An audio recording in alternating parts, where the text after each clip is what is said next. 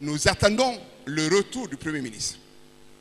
J'espère bien que ce que nous avons posé comme problème ne sont pas difficiles à régler. Vous avez écouté le porte-parole de ce jour, honorable Selou Baldé, qui l'a expliqué à la presse, qui l'a expliqué sur France 24, j'espère que vous avez subi, vous avez vu?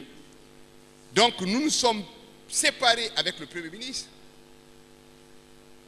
et nous espérons que très rapidement, très rapidement, et puisque nous avons dit au Premier ministre, nous sommes disposés à le rencontrer pour qu'on discute, on parle de la Guinée pour sortir de cette situation.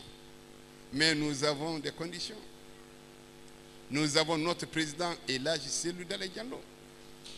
L'UFDG ne peut rien faire sans le président Cellou Diallo. Voilà. C'est-à-dire que notre président, notre candidat, notre leader s'appelle Cellou, président Cellou Diallo. Sans le président Cellou Diallo, mais je ne sais pas, Cellou, on va faire quoi? Hein? Donc nous attendons le retour de notre bien-aimé président Elage Selou Dalin Diallo. Et nous souhaitons que très rapidement, qu'on organise les élections.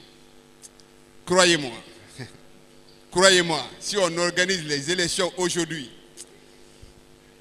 si on organise les élections aujourd'hui, le problème est complètement réglé. Elage Bouma, Elage Ibrahim Daboula. Nous attendons le retour de notre président.